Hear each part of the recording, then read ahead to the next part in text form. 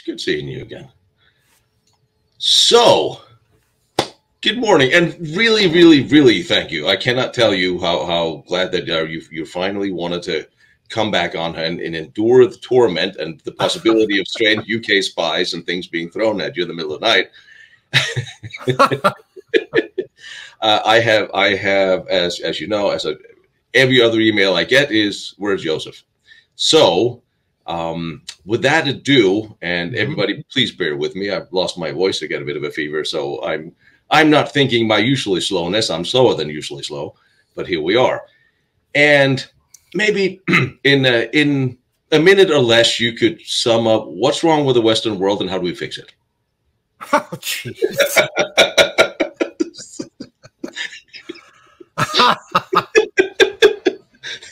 we'll start with something simple. Simple. Um, Small things. What's wrong with the Western world is is it is unable to answer the question how much progress is enough. You, we have out progressed ourselves. We have yes to yes. the devolution of progress. Right. On a human right. level, isn't it? Right. Isn't it's it's it's the late enlightenment gone completely off the rails as you know people were telling them back during the enlightenment you know uh, that's that's the problem um, it's become essentially an anti-religious an anti anti-christian anti common sense anti transcendental values i mean every every traditional institution it, it is basically an anti-human trend. anti-human trend. Alt- yeah, it's that's it in a nutshell. And it's interesting because I, I want to want to get back a little bit to to religion afterwards as, as the mm-hmm. antidote to this because if you look through the progress graphs mm-hmm. of history of the past hundreds of years, when technology have advanced, there's been a, a, a decrease in interest in religion. Yes. And what we're seeing now is almost an outright hostility towards religion in some Western countries. Oh yeah, Dep- depending on the religion. Depending on the well, it's mostly Christianity, I think, and then secondarily, uh, secondarily Judaism in Europe uh, right now, anti-Islam in in certain circles for understandable reasons. But I think I think you put you hit the nail on the head that basically, Tino, this is anti-human and what's driving what's driving the the progressivist or the technocrat or the oligarchy or what have you, whatever you want to call it. I, managerial I globalists. Yeah, the managerial globalists. What's driving them is, I think, a form of nihilism, and many of them are are so incredibly blockheadedly, colossally, somersaultingly stupid that they they cannot recognize the fact that what they've bought into is nihilism. That's in a nutshell. But Joseph, tell me how you really feel. Uh, um, don't hold back. Um, listen, I listen, Tino. I am holding back. Uh, I think you know me well enough to know that if we weren't being recorded, my my my little French grandmother's French would start coming out in full flower because I can hear her now just, you know, saying something in the kind of French you don't learn in school. What's funny, that's the only the first French word I learned was never mind. Um, yeah, I learned that same word too from my grandmother. and that, but is, isn't it interesting that we are right back to having to watch the fence of the conversation. Yes. You no longer have free speech no. because we we can't even have an open, completely honest conversation because oh, you don't know who. Like, and in England, like you look at what's going on in England, they're actually physically locking people up in prison uh, for a tweet or a statement yeah. or. This is very much a thin end of the wedge. It's the it's, thin end of the wedge, and what bothers me is, and you know this as well as I do, you can vote these these people in, but you seldom can vote them out. You have to shoot them out. Yes, unfortunately, and that's the problem. Uh, we're at we're at a we're at an inflection point in in the history of the West. Uh, and if if we if we don't negotiate our way through this, and and you can see it everywhere. We saw it in the French election. We're seeing it in this country's election. We saw it in the last election in the United Kingdom. We've got elections coming up. I'm I'm almost certain the German government's not long for this world. Um, so you know, I, who knows where Scholz is, uh, what planet he's on? But uh, yeah, um, um, you know, when when the most sane leaders in the world are Xi Jinping and Vladimir Putin, then we've yes. got a problem, folks. we've got a very big problem. it's interesting when you think that the World War One governments who got us all into World War One are still smarter than the people who have today. That's rather troubling. And that's that's quite a comparison. right. but you are right. I mean, if you if you thought the Habsburgs and the Hohenzollerns and the Romanovs were, were a bunch of stumbling, doddering fools, they they were competent. They were compared, compared, to these standards. Honestly, yeah, I mean, it just boggles the mind. It's it's it. I mean, basically, basically, World War One practically started because of of the managerials in between yes. couldn't it was a very small group of people who got World War One off the ground. It because was a very small group of people. And by the way, let, since you bring up World War One and that managerial class of nutcases, I I personally think if you re- really want a case study in in that class, absolutely not knowing what they're doing, look at that class and how they engineered Britain's entry, and for that matter, everybody else. Yes, to get into World War One because you've got Lord Milner and and that whole Salisbury Cecil Rhodes circle in the United Kingdom of yeah. you know the the upper crust that's kind of hovering on on the periphery of the of of the Royal Privy Council and they're the ones making and fashioning British policy and they manage you know their big fear is uh-oh we've got to prevent germany from you know becoming the ascendant power in europe and we're not strong enough to do that so let's get everybody else in europe yes. to fight germany. Yes. Which is what basically happened. I, and this is the same crew it is the same insane group of that are going to take this little island into a nuclear war with Russia. yeah, okay, okay, Britain, take your 270 thermonuclear warheads and multiply that by, you know, it's insanity. Totally do, do, you insanity. think, do, do you think that's the, the the theory that we are we at this point in time being Britain, America not far behind, Right. We are so they are so close to a civil war that we may as well start a third war as to have a common enemy to maybe we'll keep our own hinterland from tearing itself apart. Oh, I, this is a distraction. I think I think this is absolutely now in in the calculus of of the power elite in the West, and here's why. If you look if you look at the situation globally, there there are actually sociologists that are are following this phenomenon worldwide. You know, we look we look at Marine Le Pen in France and think, oh well, that's just an isolated, you know, right wing nutcase in France, and they've always been a little strange, you know, and so we don't we don't need to worry. What's really happening is that same populist movement is not just in France, it's in Spain, it's in Italy, it's in Austria, the Netherlands, Germany, Poland, Hungary, the United Kingdom. It's in this country, it's in Canada, it's in South America, it's in India. And you can even find traces of it in China, it's in Japan. This is a global phenomenon. People are fed up with their political elite. And that's exactly what it is. It is a reaction to what it they is. did. Yes. And that's what they don't understand. Well, the problem the problem is is the the the every populist revolt has something in common. And and we're watching it you know we're we have just seen a leading left-wing democrat bobby kennedy come out and endorse the republican kind of center right candidate for president and followed up by yet another democrat with tulsi gabbard. And what that should tell people is that the, there is a realignment between the the political and leadership class and everybody else.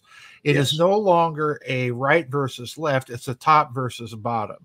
Yeah, this is the problem, and the the political elite in the West is kooky and crazy and stupid enough to mm-hmm. do anything to hang on to their power yeah. in that situation, including, as you suggest to avoid civil war, well, let's start a global war. Yes. Uh, you know, um, I, we narrowly, uh, you know, I just have, I have a book right now. I just submitted to the publisher about the American Civil War. And we narrowly avoided in this country when we were fighting the Civil War having that blow up and escalate into a global war because everybody in Europe, all the European powers, were watching what was happening in this country and were poised on the brink of intervention. And, you know, that would have been really bad, eh, you know, had it happened. But, but I think, I think the dangers now are, are, are even more dangerous and and and and the risk factor has gone up tino for one very important reason. It's that managerial class that you talked about. Yeah. we don't even we don't have a functioning constitutional republic right now. No. What we have is a banana republic and we yes. have a government by avatar and and hidden oligarchy and hidden politburo. That's what we have. It's just that's the word I was looking for. Thank you. Yeah, it, that's what we have. It is a Politburo, you know, and, yes. and and even you know, here's the problem. Even the Politburo in the Soviet Union and Communist China, you at least knew who they were. Yes. you, know? you, didn't have to worry about voting for them. You but didn't you have to worry about voting. You know, it's like that Stalin movie. All in favor. Everybody, you know, unanimously carried.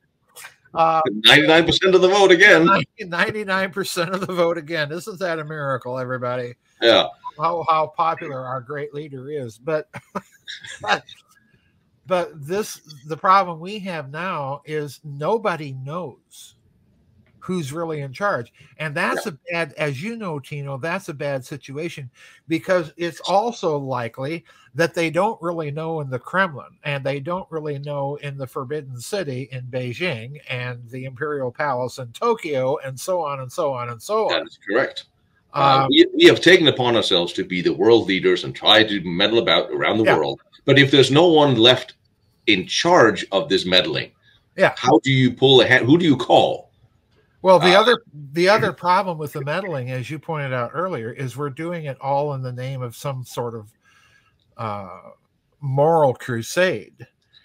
And you know, I'm I'm an old Southern partisan. I can smell a Yankee having a moral crusade. you know, okay, you want to abolish slavery. Fine, good. Give us a plan. Give us a plan. We're How ruled by emotion, not, not, They, yeah, they did it in Russia under the czars. Yes. They didn't do it here. We had to fight a war. Yeah. you know, and the only plan that they finally came out with was Abraham Lincoln in 1862. And at that point, the Congress votes him down. Well, it's also it's also easy to free the slaves in the uh, in the area in the non-conquered area. Yeah, yeah, we're freeing all you guys, but like, but not up here. I mean, the, the, Confederates had slaves fighting in their army, in armed, their army. while Lincoln's army was never allowed to be armed until the very, very end. Oh, it's it's just nuts. It's just, yeah, I know this. You know, yeah. I, the whole thing is so nuts. But but my problem is, like you point out, if we're going to go on a moral crusade, at least give us a Billy Graham to lead it. let us know who's in charge, heroes. This uh, is more like like the the, the lemming bureaucrats that have it, decided it, on a plan for themselves. This yes, and you know the next five months, I, I'm with you, Tino. We could literally be in a world war. And yeah. and and these nut. Here's my other problem. Here's my other problem. Do go on. you knew this would happen. No, my other pro- shipped to you. Look, I, I have never served in the military, ever. I've read a lot of history. I've played a lot of war games. I have kind of a basic feel on what you do and what you don't do. What you don't do is invade Russia with 3,000 people in Kursk, create a salient that you can't supply,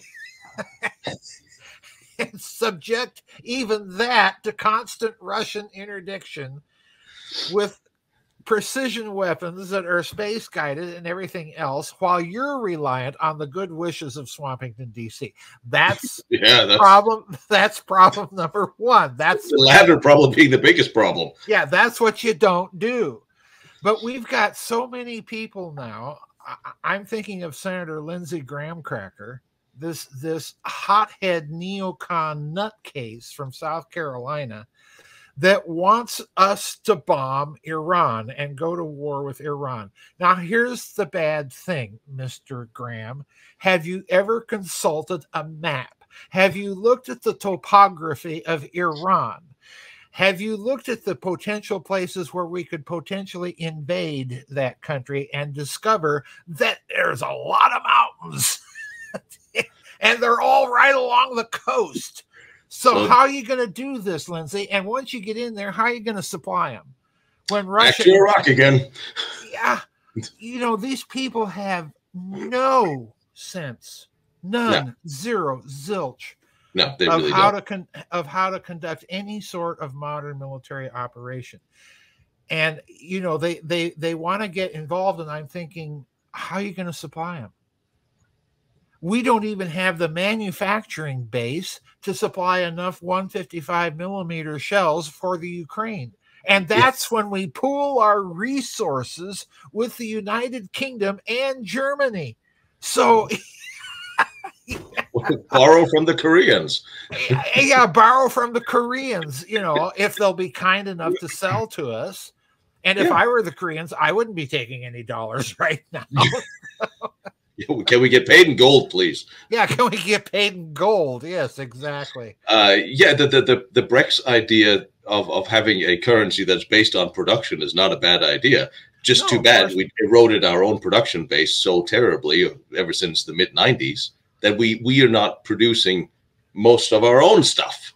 Yeah, well, the money the money debate in in the West right now is is another case in point of our absolute insanity, because yes, if you're going to have if you're going to have a production based debt free uh, currency based on on surplus production, if that's the kind of currency you have, it's a it's a good currency system to have. It's a good idea, yeah. The Union used it during the Civil War, yeah, and it worked.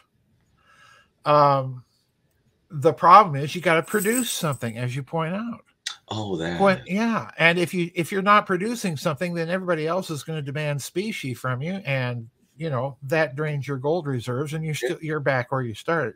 So this this insanity in the West is is off the charts. Now, I do happen to think that somebody wanted this and deliberately engineered it all this way because nothing ever happens by accident. Nothing happens by accident. Nothing. And that and that's interesting because that's one of the things I, I wanted to try to figure out where does this beast come from? Because the the, the comparison to World War One, I, I, think, is very apt these days. Oh yes, World War One started because of relatively few people. World War Two generally started because a relatively few people few pushed people. it in that direction. The Ukraine War probably started because of relatively few people. So the concept of starting a World War Three, because very few people have an agenda to do so, as right. as a part possibly. This is a theory Mm-hmm. Their great reset of 2030, where we will own nothing and be happy, like uh, Schwab said, which is basically conceptualized by the World Economic Forum, and the, the UN is pushing these things under under the guise of equality and environment and all these nonsense things. Mm-hmm. All the things that comes with this is terrifying if you actually listen to what they say. And that's mm-hmm. the problem. No one mm-hmm. seems to be listening to what they say because eh, they say so much, it's just blanketed away. But I'm mm-hmm. thinking it seems a little bit like a woke world Marxist globalist agenda 2030 because this seems like a new Marxism started by going after the working class, have them mm-hmm. rise up because they were unhappy. That didn't work in the West. It didn't work in America. You can't bring Marxists to America to, to, and then use the working classes because they're not really unhappy. They weren't unhappy in the 50s, 60s when this started. So what do you do? You have to go for the other unhappy minorities, sexual mm-hmm. identification mm-hmm. minorities, mm-hmm. uh, the race theory, of course, is everything. And you can start using the identity based minorities as a different evolution of Marxism which is I think what we're seeing because basically we have to find those who are unhappy, put them in charge of everything they're not in charge mm -hmm. of, uh, and then get and then destruction of everything that's normal. And isn't that pretty much what woke is? The destruction of everything that is based normal, because they can then say we are discriminate against. But this is a globe. This is a global phenomenon pushed by again relatively few people who yes. have integrated education systems, governments, economic institutions, BlackRock, State Street, Vanguard, who now owns all these and other institutions around the world, UN institutions. And you, importantly, one institution you've forgotten where all this started the churches. The churches. The churches. That, that's it's right. important for people to understand that the Cultural Revolution really begins right around the time of Vatican II, and Vatican II becomes its its kind of the symbol of it um, what you're looking at is is the cultural Marxism theories of, of Antonio Gramsci and Herbert Marcuse and Theodor Adorno and people like this playing itself out, and it's it's particularly interesting that that that cultural Marxism school, Marcuse and Theodor Adorno, particularly that that flee Frankfurt and come over and ensconce themselves at the University of Columbia, and particularly in the education department. So, in other words, it becomes a cancer that spreads to the academies in this country, and then you have you have the Rockefeller uh, family, as I like to call them, sponsoring all sorts of of non-traditional ecumenical bullshit in in the World Council of Churches and so on, and and attempting deliberately to move uh, confessional bodies away from their doctrinal and, and traditional core. So all of this is going on at the same time. It's interesting to me that if you look at what Russia is doing to undo seven decades of Bolshevism, what are they doing? Well, they're building mosques and churches yeah. and synagogues. That's what they're doing. Uh, and and doing it at a breathtaking pace when you compare what's going on there to what's going on here. So in other words, it's it's like the Russians learned their cultural lesson and, and had to, to learn it the hard way. We haven't. And the problem that I see, Tino, is you you raised the point of the great reset. And there's this big push on right now for cryptocurrencies, central bank digital currency, and folks, uh, I, am going to echo Catherine Austin Fitts here. If you want a mark of the beast economic system, that's it. Yeah. Because you will lose complete control over your money because your money will no longer be money. It will be a corporate coupon that they can adjust the value of at the push of a button depending on your quote unquote behavior. And That's by the way, what, you ate too much beef this week, so you can't bingo. buy anything next week. Bingo bingo. You traveled too far you used too much carbon you're taking up too much electric on and on. They will not let us rest. And travel you say no because now all the new cars have geofencing so yep. no you're not going to travel if we don't like you to and people don't seem to understand. If you have a car that's older than 2021 yep. the updates will have geofencing. Yep. All of them Oh, yeah. and they we if they don't want and then manufacturers that well, will never do that unless un, unless it's by your consent or if the government decrees so right this right. is where the self-driving cars comes in complete right. control of the population they yep. want a docile stupid is this is this part of replacement theory yes yeah yeah which I thought they're, was very. They're, here's here's the problem. Not only are these people fundamentally stupid and anti-human, they're putting into place policies that if this planet gets hit with certain types of emergencies, everything will collapse and they will not be able to stop it. True. That's their problem. And True. they don't, again, they don't see it. You know, we're dealing with people so insane, Tino, Bale Gates, again, pardon my nicknames for these people, but that's what I call him.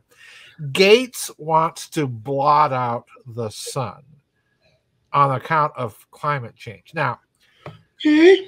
yeah, yeah, Okay. that sounds like a good idea. yeah, that Ah. sounds like a completely good idea to me. Well, it's never been tried before, It's except never the, been tried before. Let's the last try it. episode of Highlander comes to mind, but okay. yeah, it's just you know, it's just these people are. Pardon my French here, folks. These people are bat shinola crazy. They are they are so enamored of their power and their agenda that that they come out with these insane ideas and this is the problem the, the other problem i see happening right now tino we've got 65 volcanoes in the 65 count them Mm. and they're all active right now Yeah. all of them Of course. now that means we could be in for something really major what a perfect time to try and blot out the sun eh?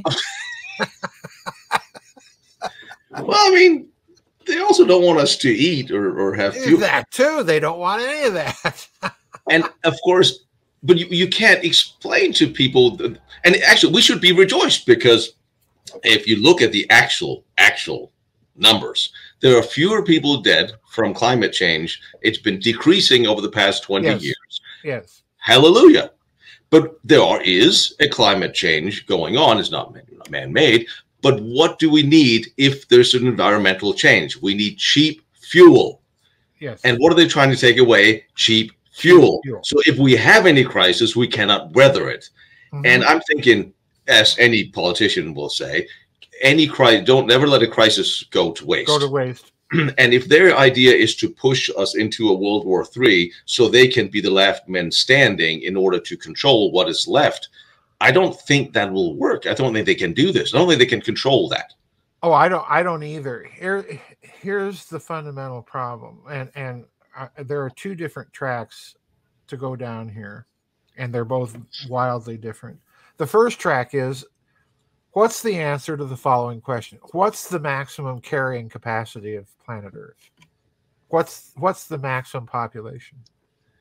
Well, the problem is, Tino, that that crazy Malthusian notion was first proposed long before Thomas Malthus by a here it comes, folks. Brace yourself, write this down. By a Venetian banker in the I think it was the 16th or very early 17th century. And his maximum, he wrote a treatise on it. This again, way before Malthus, a Venetian banker. Re- repeat those words, folks. Venetian Back to banker. them again. yeah, back to them again. The maximum carrying capacity in his day was 1 billion people. 1 billion. I think he was wrong. I think, well, that's the point. Technology changes. Yeah. These are not static systems. No one can give you an answer to that question because there isn't one. We don't know. If you look at if you look at the the surface of the planet, we we humans, the, we 8 billion humans actually take up a very small percentage of the surface of this planet. Yes. Very very small. I think we can. So that's problem number one. The and it's just a teensy weensy one. That's all problem. Well, I, and I forget what my other problem was, so we'll have to continue until I remember what what was in my noggin when I. Prevagen, I, I recommend it highly.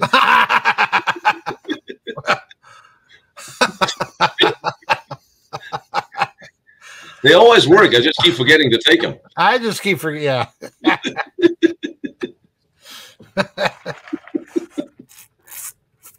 Product placement. I'm what, expecting. what can I say? I'm getting old. You know?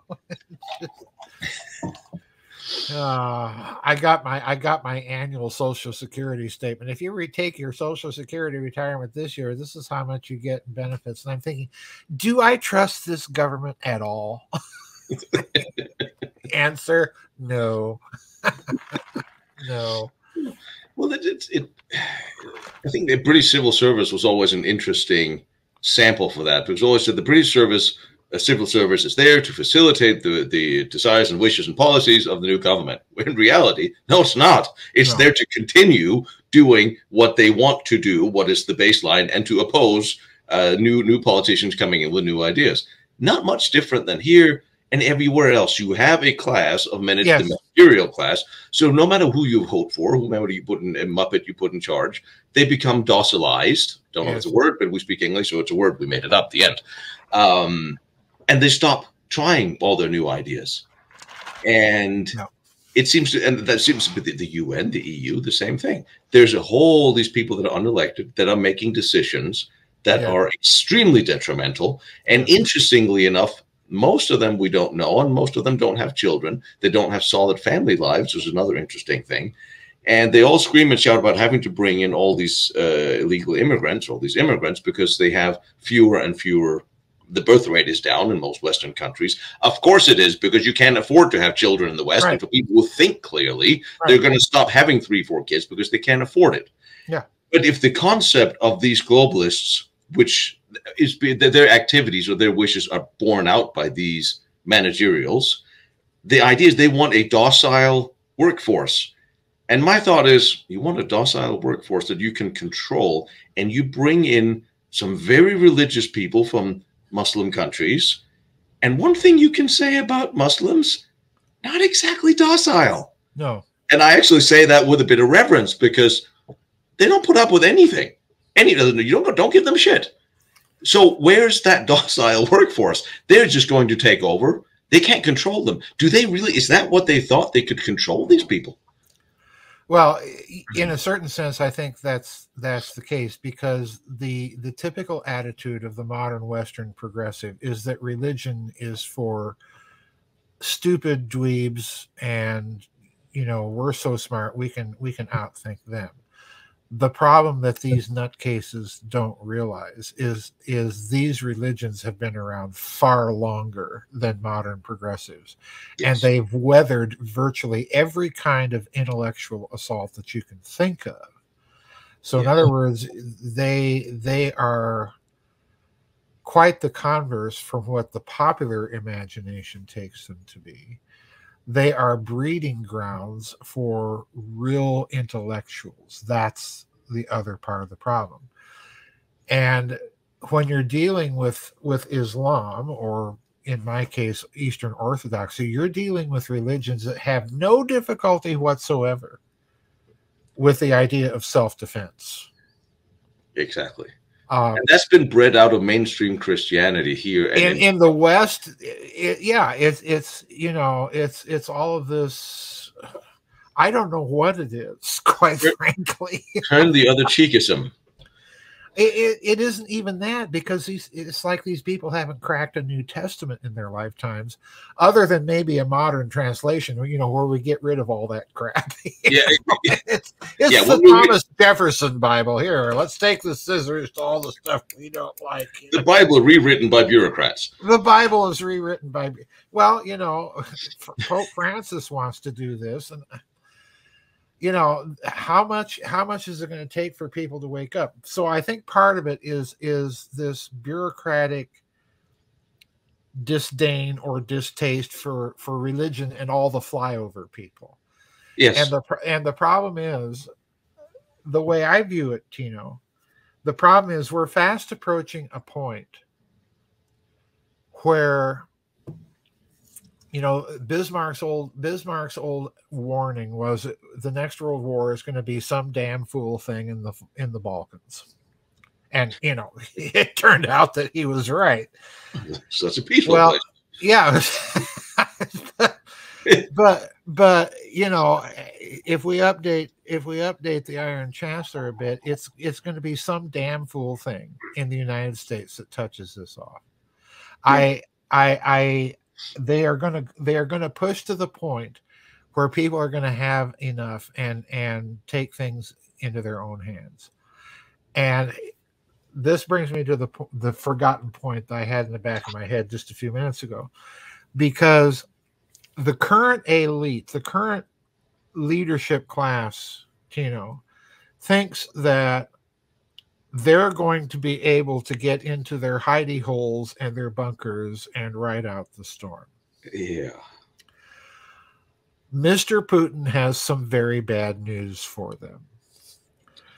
And the bad news is called hypersonic change course missiles with bunker busters that he can drop right on their heads. That's the bad news. And the other bit of bad news is if you've been listening to the Russians carefully lately, they have been sending out warning after warning after warning. We didn't listen to them when, when they said, don't expand NATO into the Ukraine, and here we are. Yep. And now we're ignoring the next batch of warnings. And, and that batch of warnings is we will target you if you do such and such. The munitions plant explosions in the United Kingdom, I am absolutely convinced were Russian special operations. The munition plants explosions Germany. in Germany were mm-hmm. probably Russian plant explosions. Yeah. Um, if if the leadership class of this country thinks that they're going to be able to get away by trying to drop a few drones on the Kremlin or on Mr. Putin and so on and so forth. I've got bad news for you, Mr. Soros. They will do the same with you. We're we're on the cusp, Tino, I think, of a complete breakdown in the normal international political order we're looking at the possibility of real mafia wars. And the reason why we're looking at that possibility is that Russia is it has been talking about horizontal escalation.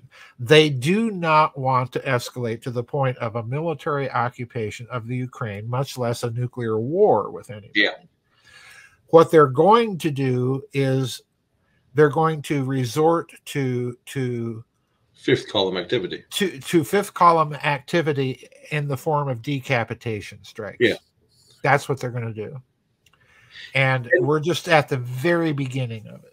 isn't it terrifyingly sad that being a fairly well-rounded normal human being as i have claimed that i am i'm sitting here thinking oh gee the russians are going to get rid of all the western leaders that's currently destroying my culture my country and everything else. Huh I guess I'll have a drink and watch that happen. Yeah. I'm probably not going to put on a uniform and go try to help them because no. that's the other thing. This yeah. you have alienated everybody who was yes. capable and willing and patriotic to defend you. So right. now you're barreling out of Washington in your limousine and you have a flat tire, and you're hoping that Billy Bob and his son, the AR, is going to help you after you destroyed his business. I don't think so. And and who are you relying on to fill up your military? oh, Duncan. yeah. Okay, back to uh, that. the whole the whole woke agenda. And how long is that military going to last fighting the Russians or the Iranians or the Chinese? You know, name your potential opponent. And how is a woke US military going to fare against them? Probably not too well. And after pulling out of Afghanistan or leaving our allies the way we did, do we really are you expecting to send anybody to Iran to go fight them for for you for no. what for why? No. And the, here's an interesting statistic. Well, the the recruitment statistics are, as you know, down dramatically. Gee golly, I wonder why. Gee, I'm surprising that uh, Billy Bob and his son doesn't want to sign up to the recruitment ad with Becky grew up in California with her two mothers, a perfectly normal uh, existence. She wants to be a fighter pilot. Gee, I wonder why you are and I you're actively recruiting to people who do not want to. And I'll tell you the recruitment numbers, since apparently I, I work at Stratcom and I have to look at this. the recruitment numbers for women have been an even steady 10% for the past 20, 30 years. It doesn't go up, it doesn't go down. It is what it is. Um, the recruitment in white guys have now dropped, and the numbers we're not filling are white men whose families fought, whose grandparents fought. And but we're like 40,000 low in the Army now. The Navy's and the Air Force are starting to close down units because they can't fill them. And here's the interesting thing of all the men that fell in battle or got wounded in Afghanistan, 73% of those were white guys. Yes. So the people who are actually putting their arse on the line, there's also black soldiers and Asian, and this, this is not this. Looking at a bigger picture, uh, no, no offense. There's there's plenty of others, but the people who we are not backfilling the military with are the ones who were traditionally out front fighting, getting right. hurt and killed. So what are you going to do here? And well, the other the other solution is the old, you know, solution that the Western Roman Empire tried, and and that's what it looks like to me. That part of this uh, immigration, you know, open borders thing is yeah. just fill it up with mercenaries, and that worked so well for the Western Roman Empire. well, if you're gonna okay, if we're going to take that the, the, the, line to the Civil War in America, because everyone's we are. It, it's interesting because Civil War statistically, um, ha- it happens when the income equality is too great and the wages and competition for good jobs uh, is way too low. And interesting enough, when the average age of marriage is above 28, then the mm-hmm. chance of civil war is there. And we fulfill all of these today. Yep. So yep. are we pulling people in? Because if you're going to have a civil war, let's say uh, Biden and co nut job, they decide that we're going to wage war on on the. We're going to deny Trump his victory. We're going to start civil war, declare uh, martial law, blah blah blah. Um, are they going to call up the military? Most of the military, the sergeants, the lieutenants, the, they're patriotic people. They're not going to go against the American people. But right. if you fill up the American military with immigrants right. who has loyalty to who gave them their green card, right they might turn weapons against. Right. I mean, the, right. the leadership, will forget about them because they're political appointees. we all know what way they swing. We need to remember that this, the phenomenon that you're describing is is part of the experience of, of the first war between the states because we need to remember that both the Union and the Confederacy, the Union particularly, brought in waves of German immigrants and many of them ended up in the Union Army. Well, why? Well, the 1848 revolution in, in Europe had failed. Many Germans were involved in that. They came to this country in the aftermath of all of that. And as a result, you know, you had a bunch of radicals basically imported into Abraham Lincoln's army. So, you know, and that sets up its own little list of, of post-bellum problem. So in other words, this what you're describing is not out of out of the picture at all. It's very definitely in play, I think. And yeah. and the problem is right now, the way I see it, is that this election is uh they they ha- you know we're dealing with one party that in the last three pardon me election cycles has basically staged coups coups d'etat yeah and against you know, their own? against their own. Yeah. precisely. Hillary against uh, senator sanders and then you know this whole biden joe fiasco. Strasbourg, yeah Strasbourg, or whatever the chinese mandarin equivalent is. And and now we have you know now we have kamalarchy and it, the whole thing is just nuts. So mm. we're in the midst of an existential election and this is my worry that yeah. regardless of who wins, some hothead out there is not going to like the result and start problems. That's my worry. Well, no matter who wins, we're guaranteed that some moron is not going to agree. Some and since we have, we have whipped up the division in this country, yes, falsely we have divided this country. The media has, when somebody says the media is the enemy of truth and the people, they're not wrong. Because if the media had called everything honestly down the line, yep. Uh, we would have had a very different, uh, and it, it's it's almost like it's a mass psychosis on one side because now I, I remember three or four weeks ago, I, I clearly remember three or four weeks ago when everyone says they have got to get rid of Kamala because she's oh, yeah. a nut job, she's terrible. We can't we can't have Biden drop out because she's this horrible person. And then a week later, she's the best thing since God.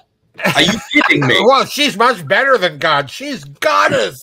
Yeah. She's she's the sacred feminine. Come on. I remember the I, I have and the thing I have remember seeing when Biden put her in charge of the border. I said by some reporters. I remember then, that too. Yes. Another the same reporter will say that never happened.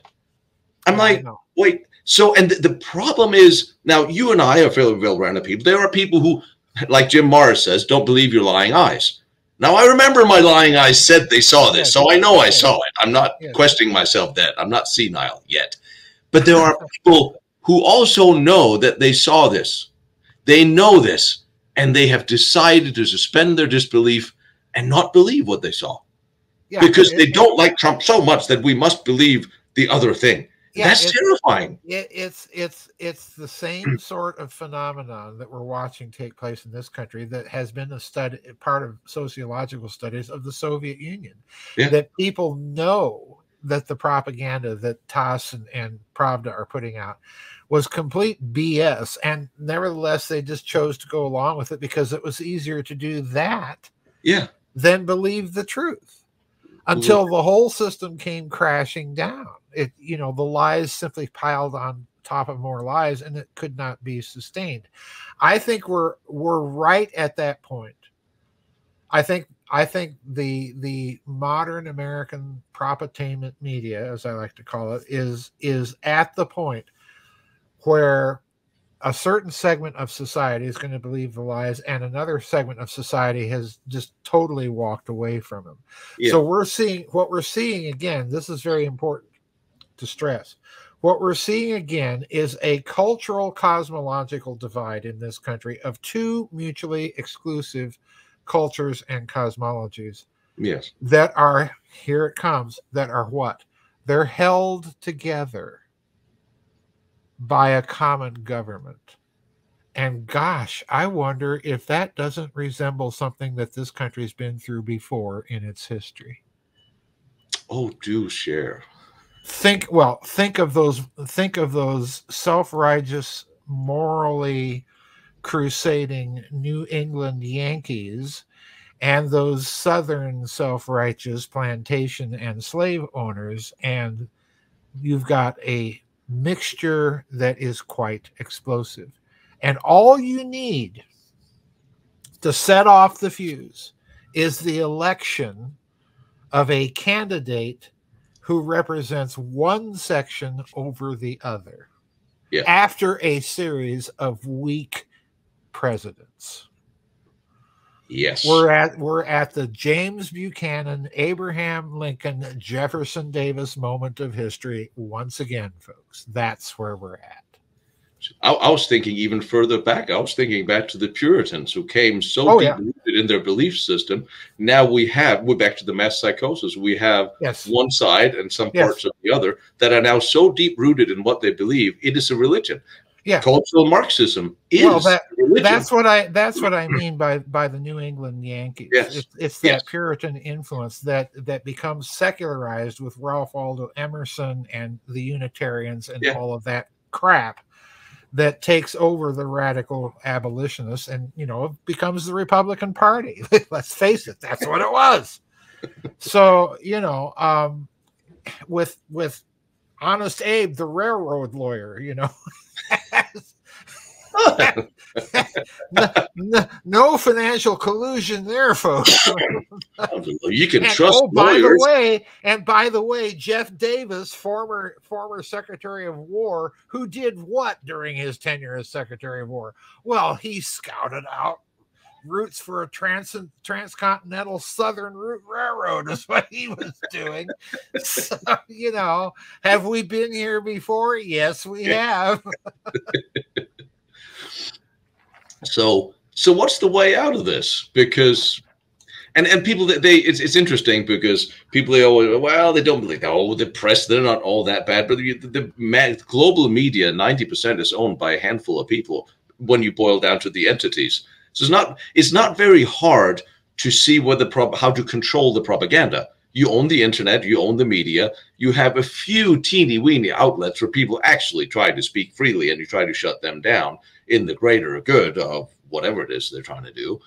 It's not hard to explain how you and see it because you have an American politician will make one statement, but you, sometimes you, you see the flow that went out to right. Kamala's a good um, is a is a very good um, sample because when the day after she was announced, a meet a brief went out to all media to deny that she was the border czar and was several all the talking points. All media took those talking points up immediately. Mm-hmm. You have the same thing abroad. You will have with the, with the UN reset and their nonsense. If there's a brief that goes out, it goes out to all media. You see it in England, you see it all of a sudden, all countries, media, mass media, come out with this same statement, the Mm-hmm. same wording at the same time. So there is some global, uh, there must be a global cabal controlling the direction of their mass loony ship. Mhm. Who are these people again? because that's well, what's so hard for people to believe. you've But asked it two, must be. you've asked two questions. What do we do about it, and who's who is this global cabal? So, what do we do about it? And here is an answer that nobody's going to like, but I think it's absolutely essential to say. Figure out now. Figure out now what you are willing to die for. Notice what I just said. Not what you're willing to kill for, what you're willing to die for because we are at that moment of, of existential crisis in this culture, like it or not. Yeah. So I'm just being honest with everybody. You're absolutely correct. Once you've figured that out, then the next thing I would say is is we need to thoroughly revive our local connections and networks. Yeah. Uh, we need to we need to think long term and strategically about the kind of culture we want to preserve and then to see flourish. Uh, we need to make every sort of conceivable plan for doing all of the above. And quite frankly, I think if you look at what is happening at the state level in several American states, Mhm. it's as if the deep state version within each of those several states already is seeing the handwriting on the wall and they're making long term plans for the big crack up. Yeah. That's what they're doing. That's the way I view the bullion depositories, the constitutional money issues uh, and resolutions at state legislatures. They're doing this because they see the crack up coming. How about Europe? I think in the same thing. thing. in Europe's in Europe's case, what you're seeing, what you've seen in the last two decades, is something very interesting to me. Number one, you had the gold repatri- repatriation craze, which began with who? Germany. oh yes, they wanted their money back. They wanted their money back, and I thought at the time, I thought, golly, I wonder why that is. Maybe it has something to do with what Hjalmar Schacht wrote in his memoirs back when he was president of the old Reichsbank. Remember that? Yes. He came over to this country and visits his friend Benjamin Strong, the governor of, uh, general of the, of the New York Federal Reserve, which is the bank of accounts for the American federal government, and therefore the bank of accounts that handles its international clearing with the foreign banks. So here's Hjalmar Schacht and and Strong, and they're going down into the gold vaults. And Schacht asks Strong uh, to see the Reichsbank gold. And so all the little aides scurry away and they come back and report to Strong that they can't find it. And this is in Schacht's memos, folks. And this I've is in got 30, 33, 34, 30, uh, 28, I think it was. 28, 20. Yeah. Yeah, er, earlier it- it's before the Nazis have taken Yes. power. And Schacht's comment at that point in his memoirs to me are just this is so classic. And it's classic Schacht. Yep. He just kind of smiles and looks at Strong and says, That's okay. I know you're good for it. I know. And I'm thinking maybe this had a little something to do with him getting off so lightly at Nuremberg, you know?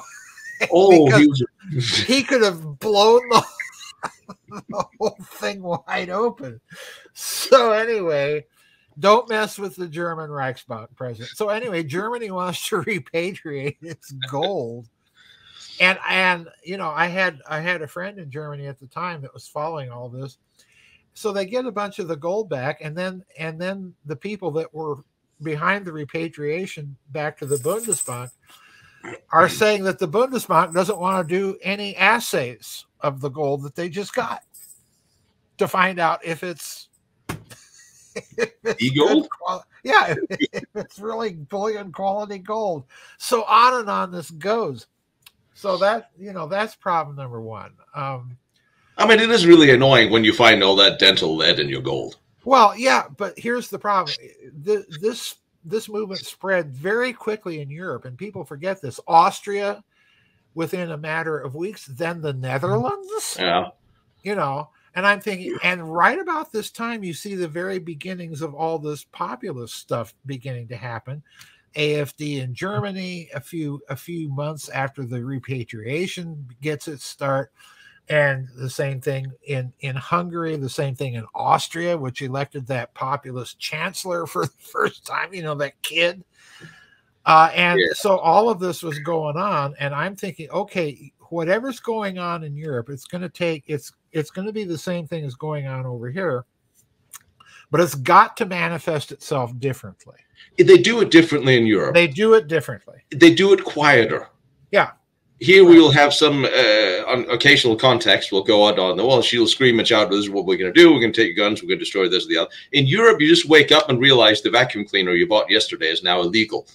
Right. Um, well, what what they do in Europe is the Dutch farmers, you know, get their tractors out, or the German farmers, or the French farmers get their tractors and dump uh, manure on government office buildings. You know, a, a wonderful French way to address the problem.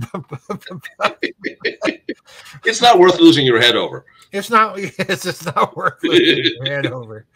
But no, I you know this this is something I think that that we're watching in Europe, and I you know we're not watching the end of it. It's it's by no means over. This is if, just barely. If Starmer thinks he's going to, if he thinks he's going to cap it by throwing a bunch of people in jail, uh uh-uh. uh. Now you have political prisoners, basically. You, yes, you're creating political prisoners in their own country. Yeah, that that does. That's and, not a good strategy. And when you have blacks and whites and uh, Jews and Hindis that are marching together because they don't want their little girls killed, and they're yes. all labeled as right wing Nazis. Not a. This is not. this is not a good propaganda market. At least strategy. the Jewish guy in that crowd would be a little offended. It's you know it. Yeah, it's just you, you, cannot label everything you don't like a Nazi. It doesn't work anymore. It doesn't work. He's yeah, like your problem number one. just, language. They, they, first they steal our words, our language, so we can't use it, and then they abuse it to the point where it no longer has meaning for us. And then, right. Right. well, sorry, uh, but I thought it was very interesting what happened at the last the the hundred uh, different protests that was announced by of course, the right wing nut job, as they were claimed to be. As a, but they caught on because they knew they were being set up because they had all the counter protests and all the police were going to show up to arrest the, the let's call them the right wingers because I don't know what else to call them, patriotic Britons. And they didn't show up. None of them showed up. They just realized they stayed home. And then and then the MI5 said, well, they uncovered a plot by ultra nationalists to destroy to, to destroy Britain by staying home. I saw the headline. I'm Like what? By staying home and okay. The British, the British are learning. To me, it's fascinating to watch this, yeah. Tino, because the British are learning the lessons that the East Germans went through and learned, and that is yeah, you can use your cell phones to communicate, but if you want to communicate with each other without the Stasi listening in, you do it by direct word of mouth, and you know the person to whom you're communicating information yeah. to, and they will in turn pass it through the network. This is exactly how East Germany lost control of East Germany. Yeah. you know, with a little help from Chancellor Kohl. And this is this to me is fascinating to watch in the United Kingdom because that's exactly what you see going on. And that's one of the things is a lesson for here. And yes, it's a lesson for here. And while while this is happening in the United Kingdom, there's been another political earthquake in that country, and and people don't realize the significance of this. Nigel mm-hmm. Farage was elected on I forget the name of his party, but he was elected on on a party ticket when the party had only been formed a few weeks earlier. Now, if you know anything about British electoral politics and how difficult Yeah. that is to do, Yes. that's an earthquake because now you have somebody that's not a member of the Tory establishment and is not a member of the Labour establishment sitting in Parliament, able to put any question he wants during Prime Minister's questions. And I'm waiting with bated breath to see how they're going to handle that because if they try and stifle him, that only makes their own chances go down. We're at a wonderful Benjamin Disraeli Prime Minister Gladstone moment of history here. I just, I feel it a coming, folks. Well, they, they might try to stop him because Lord knows everything they have done to address this have been opposite of what they should have done. So, Yes. and Well, it is only worse. Well, yes. The, th- again, these global loonias are blockheads. They're stupid. Yes.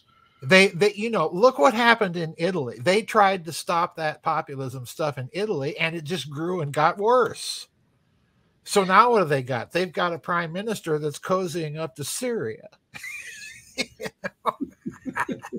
I mean, go back to the common sense again. yeah we're back to yeah a little common from italy okay so Oh, wow, Yeah. that's kind of scary. yeah that yeah you got to let that one sink in you know and it's going to get worse and worse and worse these the problem is these global loonias have have surrounded themselves i think tino for so i, I was warning about this way back with george ann hughes decades a- Yes, a decade and a half ago. Yeah. these people have surrounded themselves with their own yes men for so long they cannot think outside their own box anymore. They are stupid. This Yes, is why people are abandoning them in in droves. That is what it seems like.